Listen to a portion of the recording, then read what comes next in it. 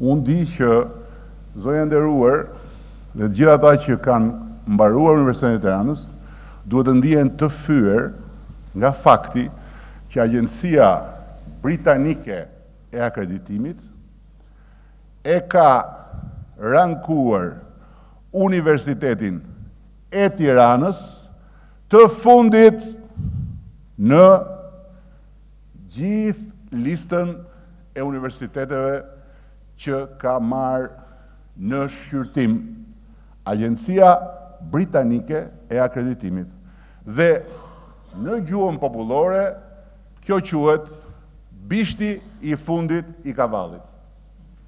Ku është këtu tani fyerja për zonjën dhe për të gjithë zonjat dhe zotërinjtë që kanë kaluar nga Universiteti i Tiranës?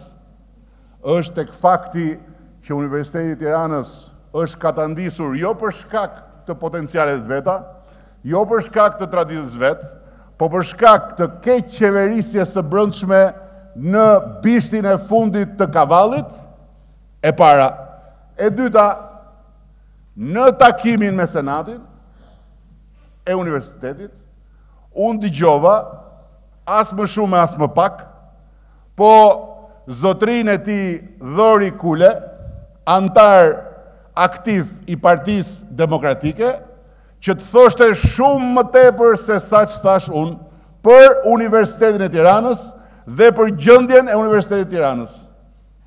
As më shumë e as më pak, po zoti Dhori Kule, i cili ka pasur detyra të larta në Partinë Demokratike, e ka përfaqësuar Partinë Demokratike në Këshillin Bashkiak të Tiranës, tha se i vjen turp nga Universiteti i Tiranës sot.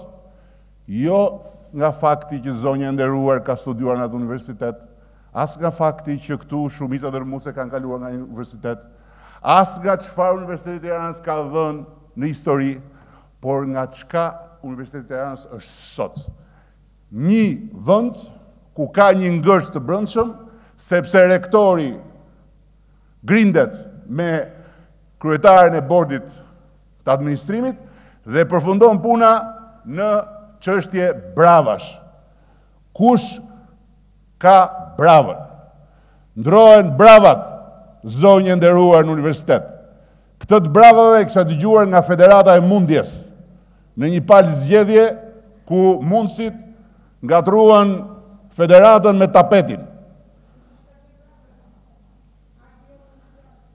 Ha, ja dhe zonja tjetër e nderuar që ka kaluar nga Universiteti i Tiranës, ngre pyetjen bravat i ndërron akti nënligjor.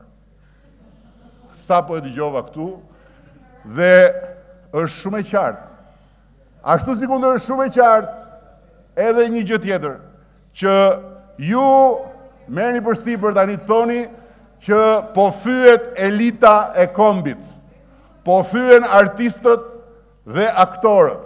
Po pse po fyhen artistët dhe aktorët? Për çfarë? Nga se? Duhet të na e thoni, ku është fyerja? Apo sepse ju jeni të gatshëm që Të kapeni mbas çdo fije bari si i mbyturi dhe të kujtoni se fija e barit është leva e Arkimedit që do ju kthejë prapë juve aty ku me këto mend ju nuk ktheheni dot më.